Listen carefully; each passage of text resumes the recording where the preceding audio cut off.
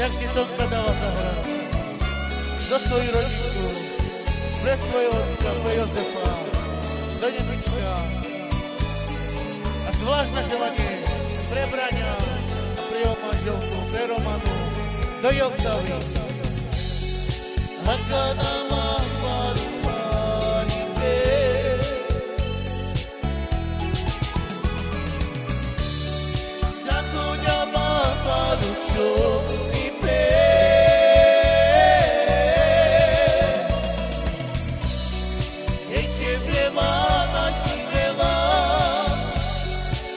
moment